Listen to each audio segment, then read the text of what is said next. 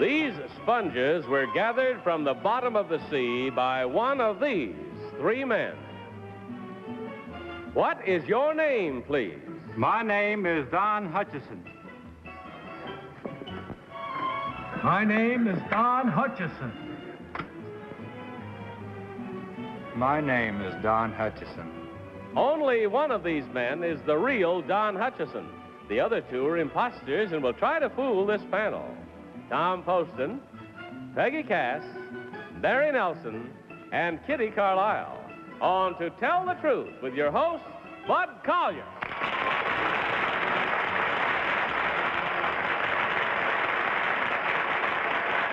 Thank you.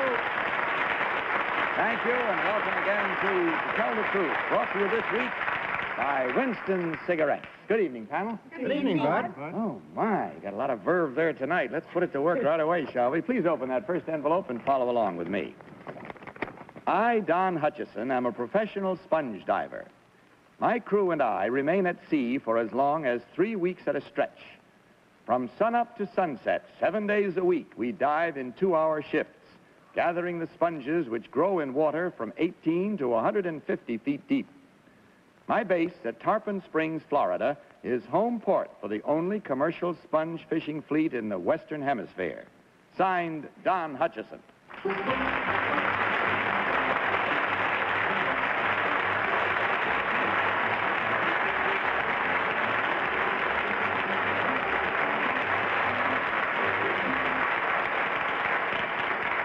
These three gentlemen, as you heard, all claim to be Don Hutchison, sponge diver. We'll start the questioning with Peggy Cass. Peggy? Oh, thank you, Bud. Um, number three, are sponges alive? Yes, they are. And number one, how long does it take them to die? Uh, about three days. Uh, number two, uh, are there any, like, little, uh, do anything live inside the sponges? Yes, Number- plankton. Hmm? Plankton, crabs, clams. Uh, number three, how do you rinse those crabs out of the sponges? Well, you have to wait till they die. I see. It's kind of sad. Uh, uh, number one, uh, in Greece they have sponges, don't they? Yes, they do. Number two, do they wear that outfit you wear to get the sponges over there? Yes, they do. Number three, what is a loofah? A loofah? I don't know. Number one, do you know? A loofah is, uh, I believe, a piece of a gourd, the inside of a gourd. Um, number two, Barry Nelson. hi. Uh, number three, uh, is sponge sold by the pound or? Uh, no, sponge is sold by the pieces. Uh, how long does it, uh, that large piece there, number three, how long would it take, say, that to grow? Well, I think it would take that one just about 20 years. Number one, what is the name of the boat that you're on? Uh, the calliope, And how many in your crew? six. Uh, uh, what are some of the uses, number two, of sponges aside from makeup sponges? Uh, washing windows, rubbing down horses.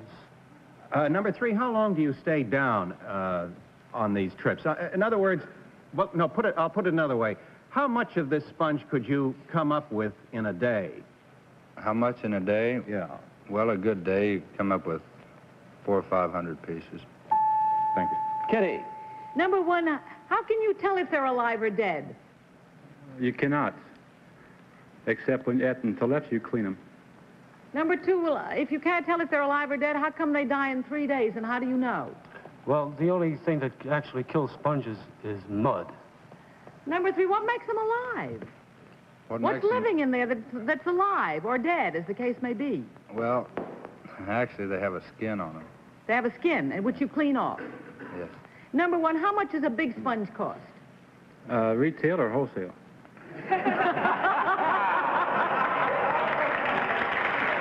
Retail. Retail. Uh, the one the size on the end of the counter over there, Yes. about $10 retail. Thank you. How many varieties are there? Number Oh, two? there's the Tom Poston sponge. And uh, Tom? Thank you. Uh, number three, what's the most dangerous uh, enemy you meet uh, when you're diving? Well, actually, the most dangerous is our carelessness. Yeah, I can see how that would be, but I was thinking of living things, number three. Oh.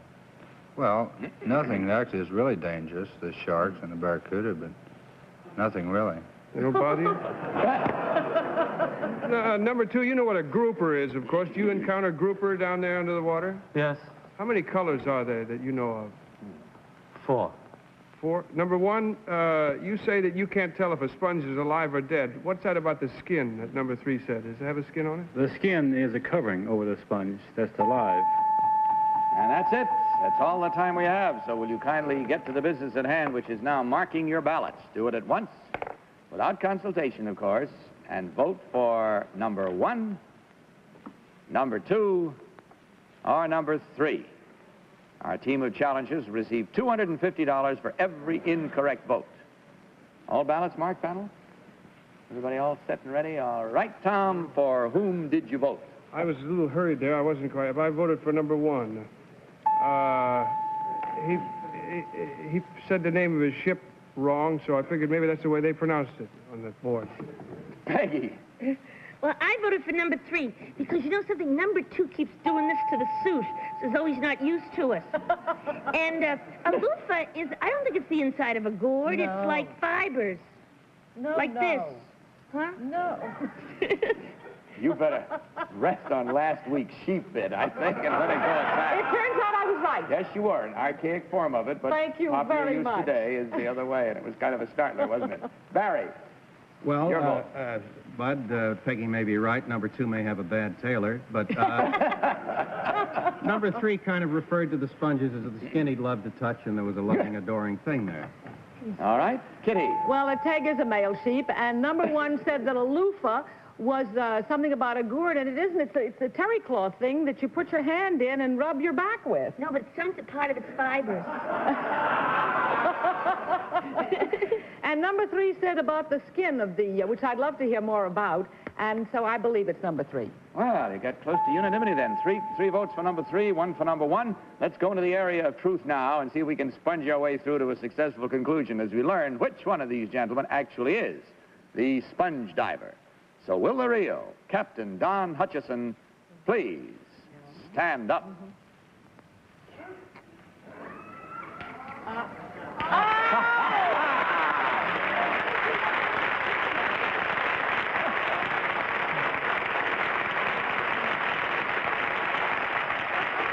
Good job. Good job of fooling, believe me. Number two, what is your real name and what do you really do? My name is Cy Lyford, and I'm a steeplejack.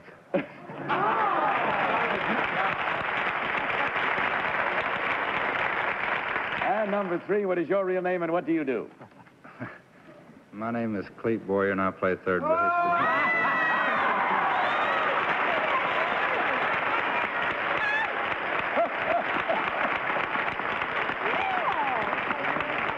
Oh, boy. Well, a special joy to have you on the show. Off-season or on Well, season, he doesn't sure matter to us. fielded those questions. Yeah, Jeffrey. he sure did, boy. That's some And he got- ball-playing family, those boys. and he picked himself up three flies that he shagged there, too. Wow. Three incorrect votes that you got, and of course, at $250 each, fellas, that's worth perspiring in that uniform for, I think, because that's a total of $750 from Winston Cigarettes, as well as the carton of Winston's on your way out. Thank you, fellas, for sharing an evening with us, and hope you had as much fun as you gave to us. Good night, and God bless you.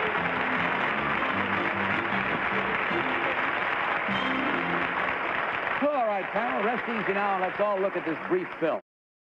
Let's meet our next team of challengers.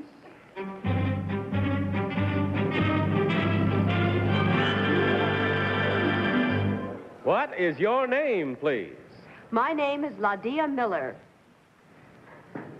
My name is Ladia Miller. My name is Ladia Miller. All right, fellas, you've had a look. Now follow along. Follow along with your stories of this next one, if you will. I, Ladia Miller, am both a professional model and a teacher of the ancient Hindu art of yoga. Through yoga exercises, diet, and philosophy, one attempts to achieve perfection in both mind and body. While I do give classes for groups of men and women, I also give private instruction in the home. This latter method I refer to as door-to-door yoga. Signed, Ladia Miller.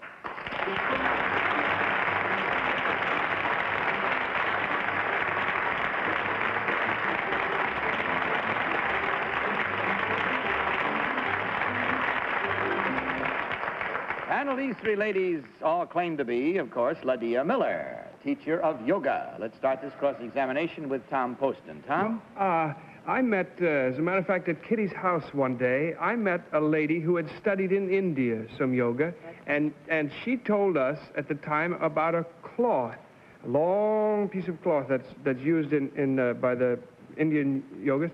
Number one, what is that for, that long piece of cloth? I don't get... Uh, Well, a piece of cloth can be used for cleansing purposes.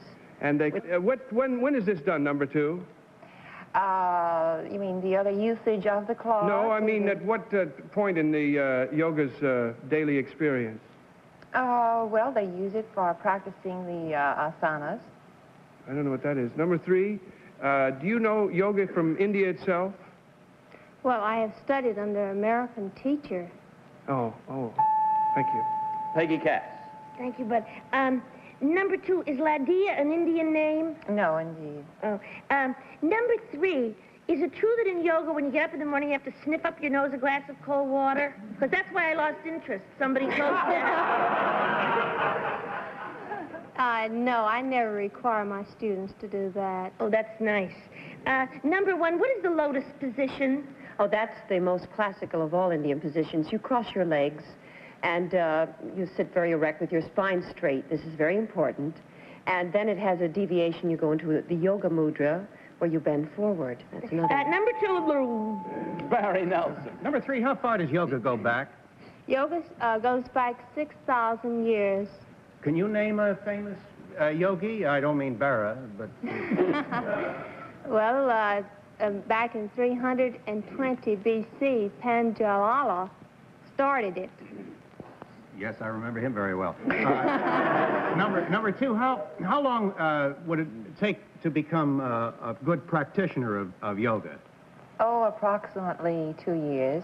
And how many hours a day would you spend, or how much time a day would you spend perfecting this? Approximately one hour.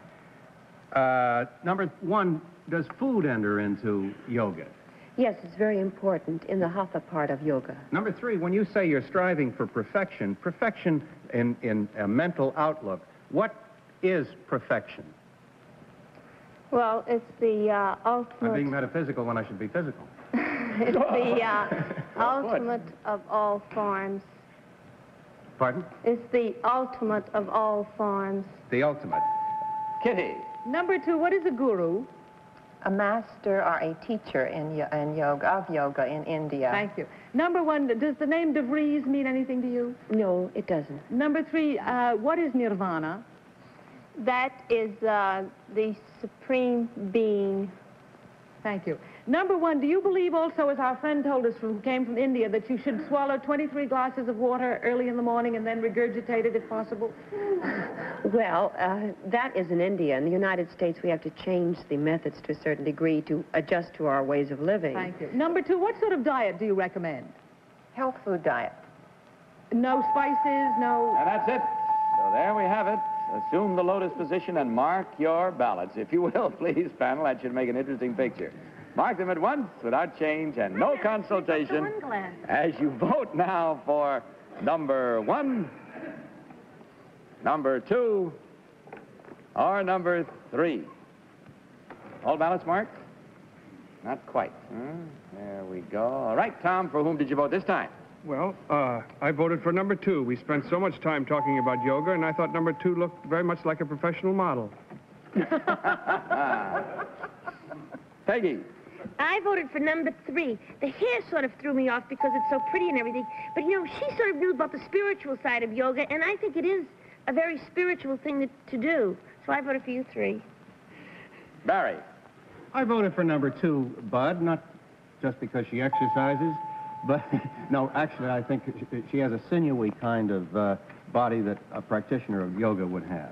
Number two. And Kitty, what is your choice? I agree with uh, Barry. I think that number two looks very fit, and uh, although they all had the philosophy quite correctly, I think, um, and were wonderful, I, I voted for number two.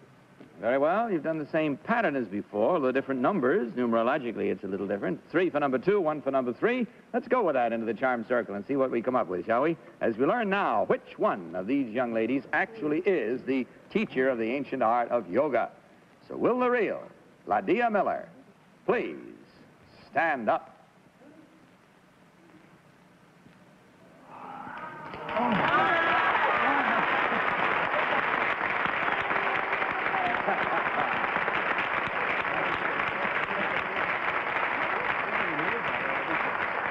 I must say, I never would have looked at the other two of you and thought you were the least bit out of condition. Not from where I'm sitting in any event. And, uh, but the panel was just a little bit smart there tonight, I'm afraid. Number one, what is your real name and what do you really do? Uh, my name is Malia Phillips. I'm a professional entertainer and painter. And number three, what is your real name and what do you do? My name is Faye Grandbear, and I'm a probation officer in Elizabeth, New Jersey.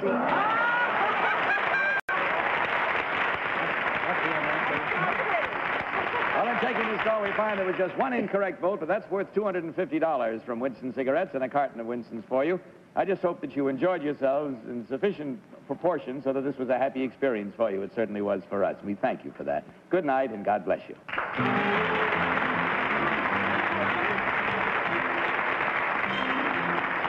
We'll put the panel back to work in just a minute. Meantime, here's something you'll enjoy.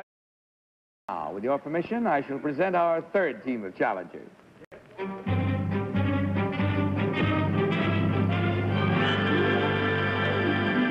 What is your name, please? My name is Frank Miller. My name is Frank Miller. My name is Frank Miller. And so, panel, will you follow along as this tale unfolds? I, Frank Miller, am a doctor of veterinary medicine. I also write a syndicated newspaper column called The Wonderful World of Animals. In it, I answer questions about the physical and emotional problems of this country's 24 million dogs, 20 million cats, and other assorted pets from clams to chimpanzees. Pet owners from coast to coast send me over 1,000 letters a month asking such questions as, can you train a snake on a leash and collar? Do crickets make good pets? What can you do for a dog who gets car sick? And is it all right for my Cocker Spaniel to drink wine? Signed, Dr. Frank Miller.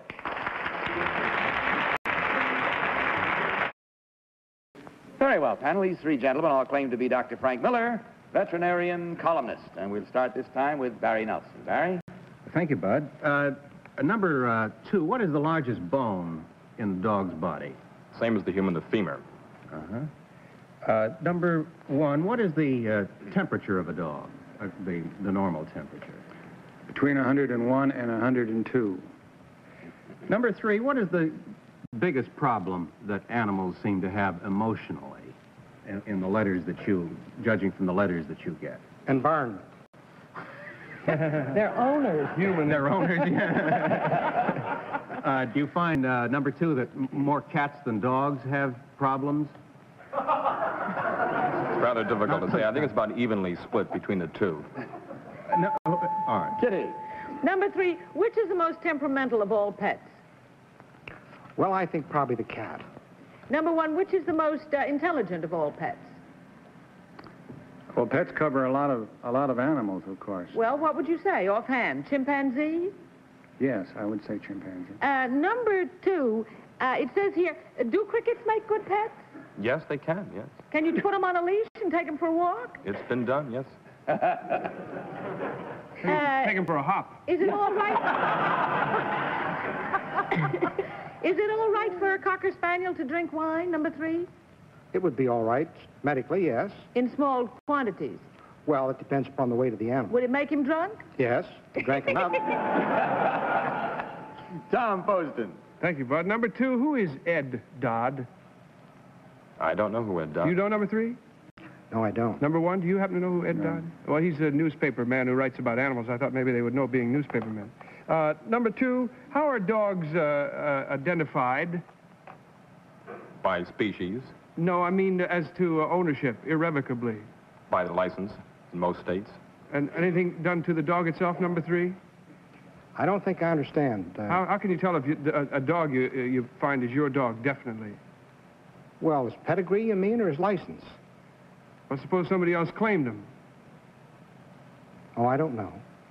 Uh, thank you. Uh, number one, uh, I understand that crickets tell the temperature. Is that true? Well, there is some system whereby the, the number of um, stridulations per second is counted and temperature is estimated. I thought it was by chirps. Peggy. Uh, number one, where do you live? In California. Uh, number three, what is hard pad? Another name for hard pad. I don't know. Number one, do you know? Hard pad? Yes. Distemper. Uh, number two, uh, what is a scissors bite? I don't know. Oh, but well, uh, number uh, number three, how long is the quarantine to get your dog into England? Nothing going to Great Britain. There's no quarantine into Great Britain. Uh, number one, do you know the length of quarantine to take them to Hawaii? Four months, I believe. Um, number two, um, a king. There's a dog called a King Charles Spaniel that's broken down into two ki- separate kinds of King Charles Spaniels. Do you know what they are? Number No. two, please. Only by, uh, only by color. Uh, do you know the names of what? The, the... And that's it. That's all the time we have. But you've done well. You've elicited a great fount of uh, knowledge there. so with it, Gee whiz, they mark wonderful. your ballots, if you will, please, at once. No change and no consultation. Vote now, please, for number one, or for number two, or for number three. Now, You all marked your ballots quickly. Very well, Tom. For whom did you vote? Well, I voted for number one. I like that answer about uh, the temperature things for the. Too late, I'm sorry. But uh, unfortunately, I think Peggy just remembered that England has a six-month irrevocable quarantine for dogs coming in. I swear I thought I wrote one. What I did you wrote write? three. I meant one. I really did because hard pad is distemper, and uh, and it's in six months for England. Oh, what a fool I am! I know, I know it's one because he knows everything about the dog. Oh, no. that shows me So I I gave you shouldn't it's wool number two gather. It anyway. is not. It's one. I would have voted for one. My life I stake on it. Barry, if you can top that performance, you may vote. No, I, I, I voted for one.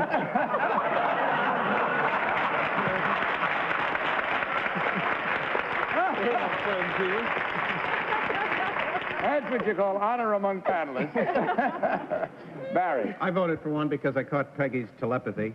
But uh, uh, also he knew about uh, the temperature and uh, about the uh, hard pad and so forth. And uh, number two was very good about the femur, but number three didn't care if the dog got drunk or anything. So Kitty, which one do you think is the real I one? I voted for number one. He said something about the cricket stridulation. I don't know if I'm even saying it right, but I was very impressed with that word. I'm impressed with the way you repeated it. And number three said there was no quarantine for England, and there is indeed, because that's why they don't have any rabies over there, and why most people can't take their pets. Well, there we have it. voted for number one. We're up at the brink of doom or success right now, and we've meddled around with the truth. Let's see, we've come close to it, and Peggy is miserable. Three dogs. They're gonna hate me. Just whistle so they can't hear you. And here we go to find out right now which one of these gentlemen actually is the veterinarian columnist. So will the real Dr. Frank Miller please stand up?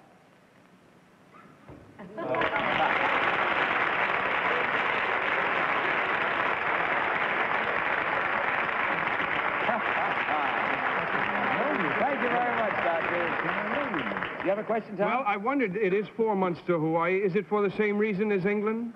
Yes. Do they another, not have rabies in Hawaii? Another tight little island, and they're afraid of it getting in. That's right. That's great. Yeah, well. Well, there we have it. Let's find out about the other two now. Number two, what is your real name and what do you really do? My name is Bill Saunders. I work in international sales. And number three, what is your real name, sir, and what do you really do? I'm Austin McLean. I'm president of Marts and Lundy. We manage uh, financial campaigns for educational institutions and hospitals. Well, thank you very much, sir. And in checking the score, we find there was just one incorrect vote. We have time for tonight. Good night to you, panel, and thank you for those happy chirpings. we'll see you, of course, next week at the same time, and I'll see you tomorrow afternoon on the daytime show. In the meantime, speaking for Winston Cigarettes, may I say good night and remind you once again, equally forcefully as always, to tell the truth. Good night, everyone. To Tell the Truth is a Mark Goodson, Bill Todman production.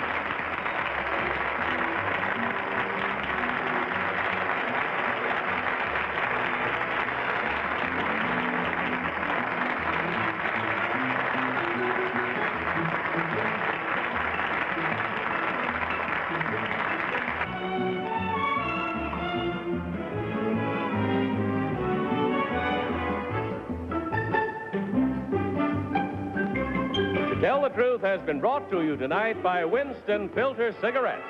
Winston tastes good like a cigarette should. This is Johnny Olson speaking, for To Tell the Truth, this program was recorded.